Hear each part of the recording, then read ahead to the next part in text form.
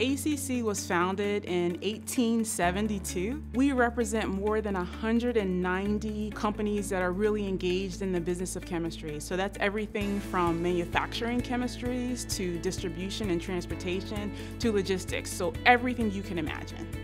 It is a, a different kind of trade organization than, than some of the typical models. Uh, we go beyond simply federal and state advocacy, uh, and we look at raising the bar across the industry in a, in, a, in a subject that's really complicated and really difficult to master.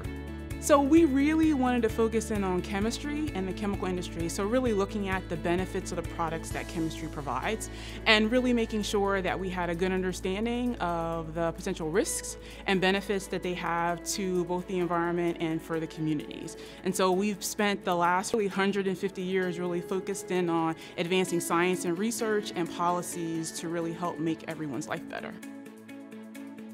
The American Chemistry Council is really at the forefront on innovating new products and technologies to solve the world's sustainability problems. We focus in on six areas. So one is around advancing information and monitoring of air quality, protecting drinking water resources, also advancing recycling, reducing greenhouse gas emissions, also working to improve the diversity of workforces and also improving, improving product safety. So it's not just about conducting the science, it's about doing that science in a way that informs public policy and decision making. So a big part of what we do is try to do some of our work on the science and research area in partnership with other key organizations.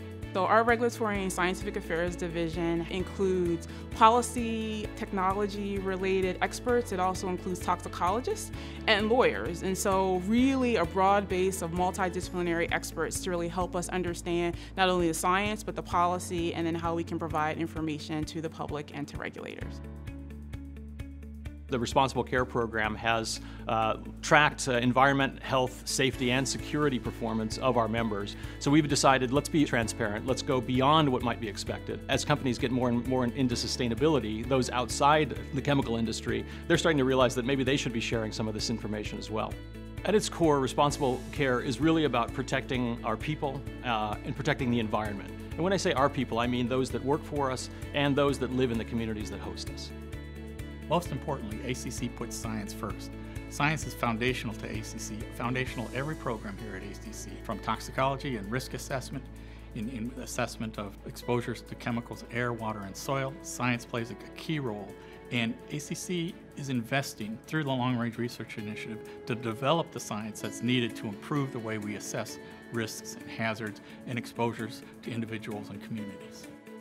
The American Chemistry Council partnered with the government in Harris County, Texas, to really address air quality monitoring information. And so the American Chemistry Council provided a grant from our foundation to the Harris County government in collaboration with a number of partners there to bring in enhanced air quality monitoring information in underserved communities.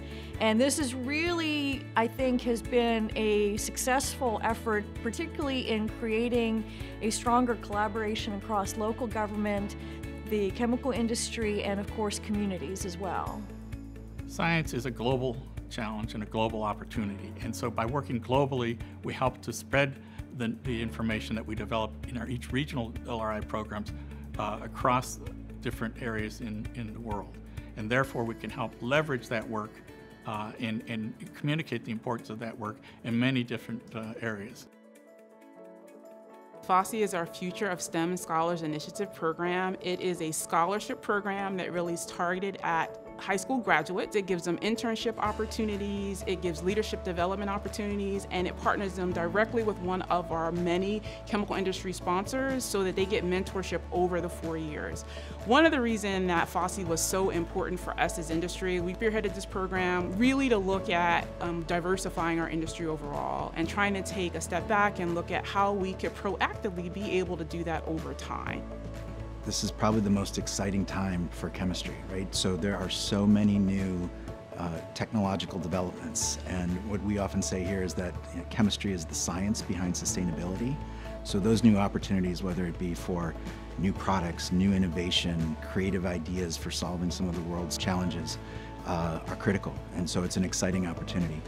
And so as we look forward and as we think about what is going to be, you know, the leading edge of the next thing, chemistry is going to be a core element of that. And I think we all want to be part of that. I'm excited to be part of the chemical industry and to be able to share that information and knowledge with everyone else.